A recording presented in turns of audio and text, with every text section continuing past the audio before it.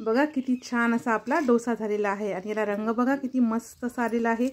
आणि अगदी पाच मिनटात एकदम छान कुरकुरीत असा आपला डोसा इथे तयार आहे. नमस्कार सिंपल मेजवानी मराठीमध्ये आज आपण अगदी झटपट पाचच मिनटात कुरकुरीत असा डोसा करणार आहोत. आणि तो सुद्धा उरलेल्या भातापासून. तर इथे बघा माझ्याकडे हा एक वाटी उरलेला शिल्लक भात आहे.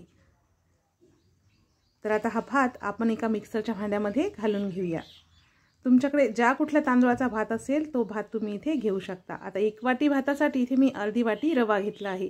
रवा जाड किंवा बारीक कुठलाही घेतला तरी चालेल. आणि आता याच्यामध्ये अर्धा ते पाऊन ग्लास पाणी आपण टाकून घेऊया.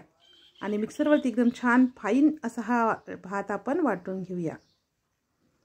तर इथे बघा मिक्सरवरती हा भात आणि रवा एकदम छान बारीक असा मी वाटून घेतला आहे. इथे बघू शकता एकदम फाईन असं याचं वाटण आपल्याला करून घ्यायचं आहे.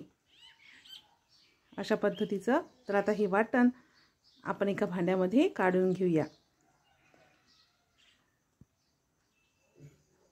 तुम्ही इथे बघू शकता हा भात आणि रवा मी किती बारीक असा इथे वाटून घेतलेला आहे. आता याच्यामध्ये चवीनुसार मीठ घालून घेऊया. मीठ घालताना लक्षात ठेवा भातामध्ये सुद्धा मीठ असते. याच्यामध्ये एक चमचा साखर घालून घेऊया. साखर घातल्यामुळे आपल्या डोश्याला छान असा रंग येतो. आणि आता याच पोह्याच्या चमच्याने मी याच्यामध्ये दोन चमचे डाळीचं पीठ म्हणजे बेसन पीठ घालणार आहे. बेसन पीठ घातल्यामुळे डोश्याला रंग पण छान येतो आणि छान कुरकुरीतसुद्धा होतो. आता हे बेसन या रवा आणि भाताच्या मिश्रणामध्ये आपल्याला व्यवस्थित असं मिक्स करून घ्यायचं आहे. याच्यामध्ये अजिबातही गुठळा राहायला नको.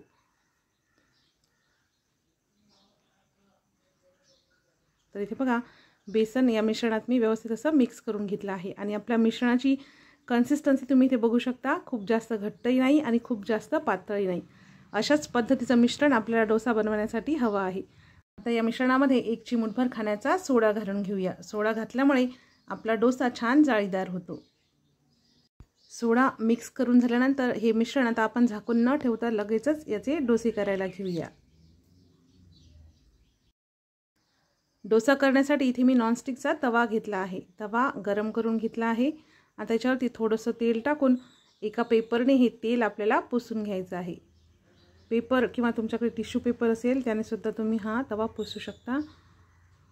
मी इथे न्यूजपेपर घेतला आहे तवा पुसण्यासाठी.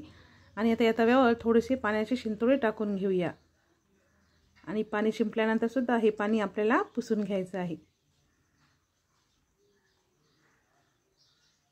अशा पद्धतीने तवा इथे मी स्वच्छ पुसून घेतलेला आहे. तवा एकदा गरम करून घेतल्यावर डोसा पसरवण्याच्या आधी गॅस आपल्याला एकदम स्लो करून घ्यायचा आहे. आणि आता आपलं जे मिश्रण आहे ते अशा पद्धतीने मिक्स करून घेऊया.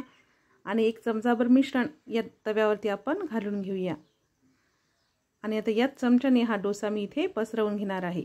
मिश्रण अशा पद्धतीचं एकदम छान आणि बारीक असलं की डोसा एकदम व्यवस्थित असा पसरवला जातो.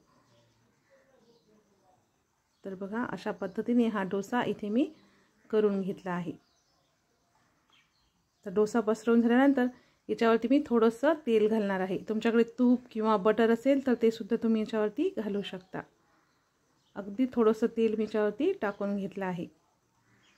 आणि आता गॅसची फ्लेम जी आहे ती आपण मोठी करून घेणार आहोत हाय करून घेणार आहोत.